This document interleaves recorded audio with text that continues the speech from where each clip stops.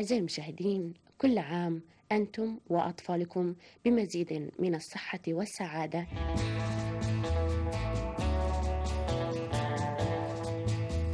صحة الطفل ونموه تعتمد على الرضاعة السليمة التغذية التحصين النظافة.